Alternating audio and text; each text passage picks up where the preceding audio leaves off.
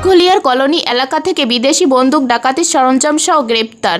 দিঘলিয়া উপজেলা প্রতিনিধি আব্দুল কাদের জনি পাঠানো তথ্য ভিডিওচিত্রে দেখুন বিস্তারিত।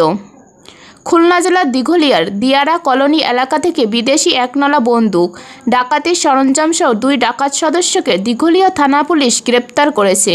খুলনা এএসপি সার্কেল রাজু আহমেদ সাংবাদিকদের সামনে প্রেস ব্রিফকালে এ তথ্য জানান। তিনি আরও জানান, আজ দুপুর একটার দিকে গোপন সংবাদের ভিত্তিতে দিঘলিয়া থানা অফিসার ইনচার্জ আহসানুল্লাহ চৌধুরীর নির্দেশনায় ওসি তদন্ত রিপন কুমার সরকারের নেতৃত্বে SI Aziz Mahmud, SI Sanjit Saha, SI Rana Pratap, SI Rafiqul Islam, ASI Shahabuddin ও এএসআই দিবাসীর সঙ্গীয় ফোর্স নিয়ে দিঘলিয়া উপজেলা সদর ইউনিয়নের দিয়ারা কলোনি এলাকার রিনা বেগমের বাড়িতে অভিযান চালিয়ে একটি বিদেশি একনলা বন্দুক, চার রাউন্ড গুলি, ছোট বড় কয়েকখানা ছুরি রেঞ্জসহ দুই ডাকাত সদস্যকে গ্রেপ্তার করেছে।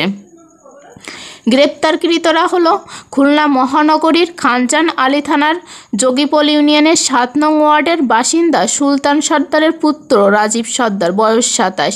ও দুই সেনহাটি রেজার মোড় এলাকার শামসুর রহমান ওরফে শামসুর পুত্র ইসমাইল, বয়স চৌত্রিশ।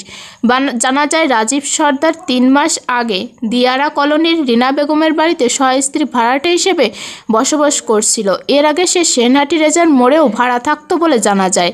আরও জানা যায়, গ্রেপ্তারকৃত রাজীবের বিরুদ্ধে খানজান আলী থানাসহ অন্যান্য থানায় অস্ত্র ডাকাতি মামলা আছে। সাংবাদিকদের এক প্রশ্নের জবাবে এএসআই সার্কেল রাজু আহমেদ বলেন সে কিলার কিনা তা জানা যাবে তদন্তের মাধ্যমে। তবে এরা বড় ধরনের অপরাধী। তাদের সাথে আরও সদস্য থাকতে পারে যা তদন্তে বেরিয়ে আসতে পারে।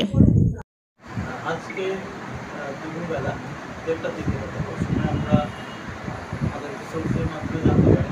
আমাদের আপনি একটু ঘুরে বসেন না আসতে হবে না হ্যাঁ হ্যাঁ।